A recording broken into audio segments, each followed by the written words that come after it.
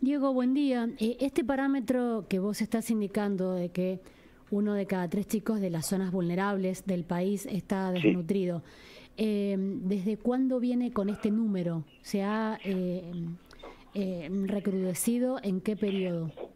No, es cierto, esto hay una cosa. En los últimos años la pobreza da como saltos cuantitativos importantes. En este caso nosotros estamos midiendo en estos relevamientos del año 2019 y, lo que hacemos habitualmente es no, no, no, hacemos no repetir las mismas localidades, por lo cual las variaciones no son tan tan eh, grandes como la variable de pobreza o indigencia, se mantienen prácticamente ahí. Pero como yo lo que estamos presuponiendo es que como es un número tan bajo, ya es difícil, ya es difícil eh, bajar, digamos, ¿no es cierto? A ver, esto lo que está diciendo es que uno de cada tres niños de la zona vulnerable está bien alimentado. Uno de cada tres. Ya es mm, tan dramático que difícilmente no pudiera caer más.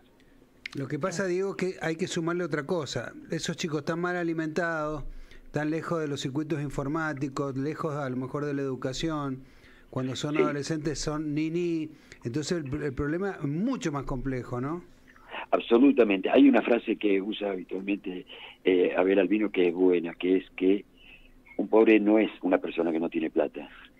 Un pobre es una persona que no tiene contención, que no tiene posibilidad de educarse, que no tiene afecto, que no tiene una alimentación adecuada, que no tiene eh, una contención afectiva y que además no tiene plata. Y eso es un buen un buen análisis, ¿no? Porque la pobreza estructural es la caída de distintos sostenes que hacen a la pobreza.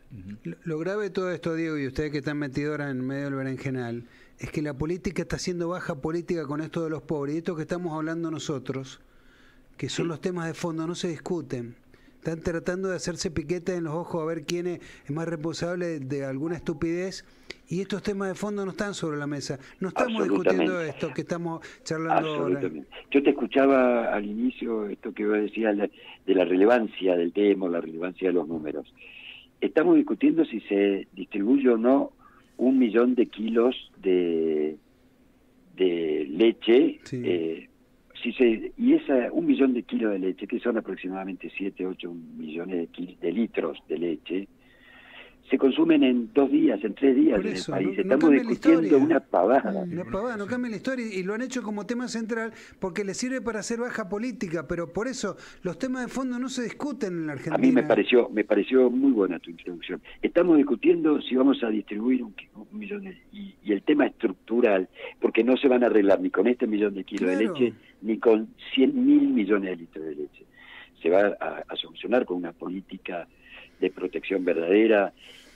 Y por otro lado, también es cierto que discutimos si con puede o no puede otra ONG o Caritas. Este problema no lo arregla ninguna ONG sola. Y, alguien lo tenía que hacer en la emergencia. Bueno, le tocó a ustedes, pero a ver, eh, se pone a discutir si ustedes son no sé qué, si, son de derecha, de izquierda. es una estupidez también. A ver, esto no tiene ideología repartir alimentos.